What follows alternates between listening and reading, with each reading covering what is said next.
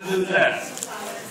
At this time, I would like to introduce Reverend Karen Black to give the Christmas blessing. What a joyous night. Thank you, Holy Lord, for all that you have given to us and for the shepherds and wise men that are with us. Let us pray. Oh, Lord of the universe, on this very night we give you our thanks and glory. For you are our guide and our comforter. Without you, we are nothing. With you, we are able to do more than we could ever ask or imagine. So tonight, we give you our thanks, and thanks for all who have worked so hard to make this community a better place for everyone. Thanks for all who have given of their time and their talent and treasure to care for the least among us. And we give thanks for everyone gathered here, ready to rejoice in music and sound.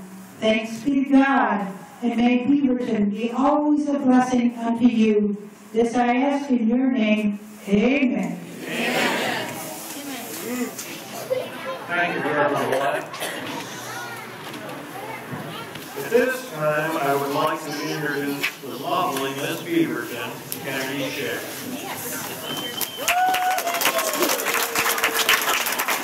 Hello, everyone. As I look around and see the many faces neighbors and friends, I realize that what lights up our hearts and illuminates our souls, not only during the holidays, but every day, has nothing to do with electricity and has everything to do with the human spirit. Friends are a lot like Christmas lights. They light up the darkness and make our days and nights shine bright. The custom of Christmas lights goes back to the use of candles to decorate the Christmas tree in homes in the 18th century.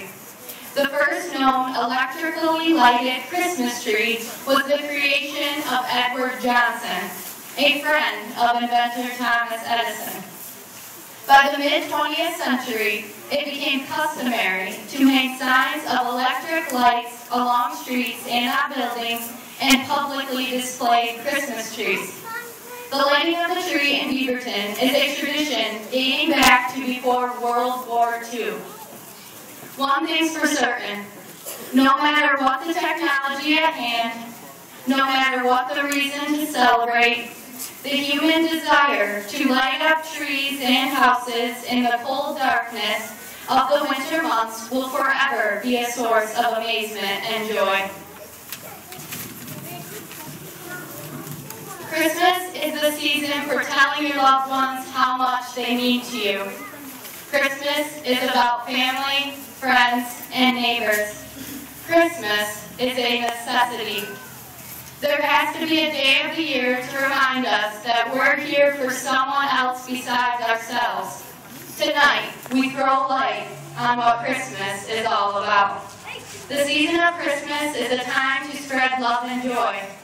Christmas carols, hot chocolate, bright lights on city streets, hearts full of people gather to share the kind of gifts you can't cover in wrapping paper.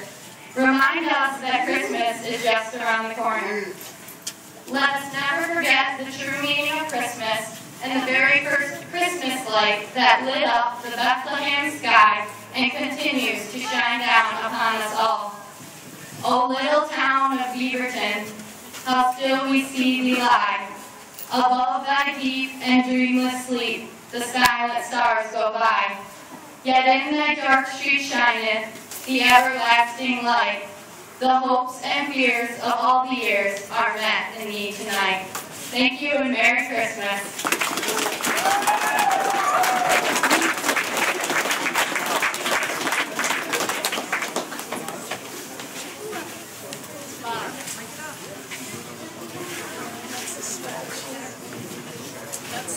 Okay, thank you, Miss Beaverton. Now, this time, we can turn off the lights and have everyone count down